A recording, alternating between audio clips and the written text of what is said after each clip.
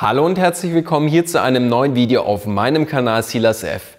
Schön, dass ihr wieder mit dabei seid und in diesem heutigen Video habe ich drei Tipps für euch, wie ihr Licht einsetzen könnt, um einen Produktshot auszuleuchten, einen kleinen Werbespot für ein Produkt und das Ganze mache ich heute nicht alleine. Ich habe mir Verstärkung mit an Bord geholt. Der Fandon von dem gleichnamigen YouTube-Kanal ist heute nämlich mit am Start und er wird den zweiten Tipp vorstellen. Und wir wollen nicht lange um den heißen Brei rumreden, sondern wir wollen direkt durchstarten mit Tipp Nummer 1. Und deshalb sage ich Intro ab und bis gleich.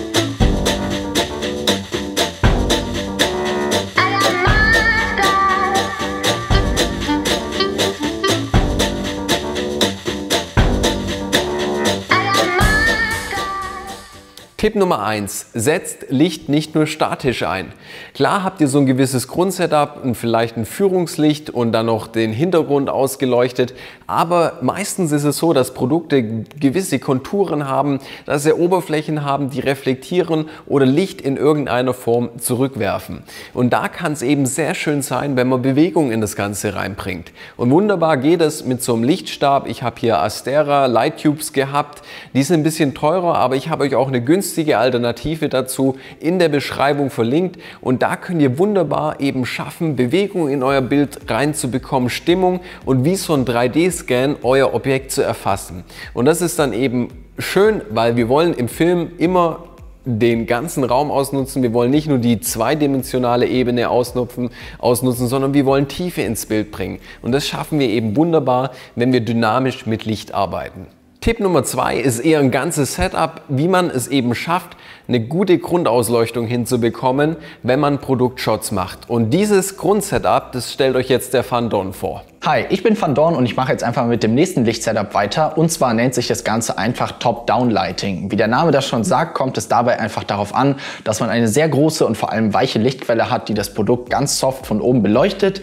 Der Effekt, den man dadurch hat, ist relativ schön und zwar hat man dadurch einfach sehr weiche Schatten und alles wirkt ziemlich harmonisch und wenn ihr professionelles Equipment am Start habt, ist das Ganze auch relativ einfach zu realisieren. Man nimmt sich einfach zwei C-Stands mit einem Querarm, verbindet das Ganze und kann dann ganz einfach bei mir zum Beispiel Beispiel mit einer Magic Clamp ein Licht daran befestigen. Bei mir ist das dann ein Aperture 300D. Darauf befindet sich noch ein Light Dome 2, also eine große Softbox inklusive Grid, also quasi so einem Honigwabengitter, was einfach dafür sorgt, dass das Licht sich nicht so viel streut. Und wenn ihr jetzt vielleicht nicht gerade zwei C-Stands zur Verfügung habt, gibt es auch eine sehr einfache Alternative.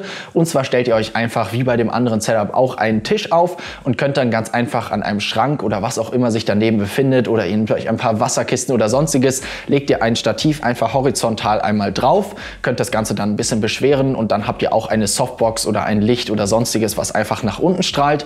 An sich ist das jetzt schon mal ein richtig schönes Lichtsetup und wenn man dem Ganzen jetzt noch so ein bisschen mehr Pep und Richtung verleihen möchte, kann man zum einen natürlich mit RGB-Licht einfach den Hintergrund farbig anstrahlen. Das sieht meistens ziemlich cool aus und in meinen Beispielaufnahmen habe ich dann auch noch in einem 45 Grad Winkel von vorne eine relativ alte Softbox davor gesetzt. Das ist jetzt nicht das hochwertigste Licht oder so, aber es reicht auf jeden Fall aus, um den ganzen noch nochmal so ein bisschen mehr Kontur zu verleihen. Ich habe jetzt zum Beispiel auch ein Produktvideo mit ein paar Flaschen gedreht. Dementsprechend ist es da auch besonders wichtig, dass man einfach richtig viele Reflexionen hat, um die Flaschen überhaupt richtig äh, sichtbar zu machen, dass die Kontur auch ersichtlich wird. Also hatte ich sogar noch zwei LED-Stangen von der Seite und noch einen Reflektor auf der gegenüberliegenden Seite der Softbox, aber das braucht man alles nicht. Also für das Grundsetup ist auf jeden Fall erstmal wichtig, ein Top-Down-Licht zu haben, dann möglichst auch noch ein Licht im 45 Grad Winkel von vorne und wenn ihr es noch über habt, sogar noch ein bisschen Licht für den Hintergrund Hintergrund und dann könnt ihr auf jeden Fall sehr, sehr coole Aufnahmen erzielen. Vielen Dank, Van Don, für dieses wichtige Grundsetup. Mit diesem Basic Setup kann man wirklich schon mal viele Produkte super gut abfilmen. Und wir kommen jetzt zum abschließenden Tipp, Tipp Nummer 3 und der ist, arbeitet mit verschiedenen Lichttemperaturen und Farben. Wenn ihr zum Beispiel ein Produkt habt, das blau ist oder eine andere Farbe hat, dann ist es schön, wenn man zum Beispiel die Komplementärfarbe im Hintergrund wiederfindet. Wenn ich jetzt ein blaues Parfum habe und dann im Kontrast mit Rot arbeite, Orange, kann ich dadurch einen sehr schönen Kontrast und eine Tiefe erzeugen. Das ist ein mega guter Punkt, wo man eben nochmal eine schöne Bildstimmung erzeugt und was man auch wunderbar machen kann, wenn man zum Beispiel Gegenstände hat oder Licht durch zum Beispiel eine Jalousie fallen lässt, kann man auch sehr schön mit Schatten hell-dunkel arbeiten. Also man kann da auch nochmal Struktur ins Bild bringen, indem man sagt, okay, ich halte mal bewusst was vor mein, vor mein Licht und erzeuge da durch Struktur oder Schatten und habe dann auch nochmal eine gewisse Dreidimensionalität. Wenn ihr noch Tipps habt, wie man ein Produkt ausleuchten kann, dann schreibt ihr unbedingt in die Kommentare. Das war ein kleines Tutorial, das waren nur so ein paar Quick-Tipps und man könnte sich noch viel mehr in das Thema rein vertiefen, aber wir wollen es dabei mal belassen. Wenn euch das Video gefallen hat, gebt einen Daumen nach oben, abonniert meinen Kanal und wir sehen uns beim nächsten Mal wieder.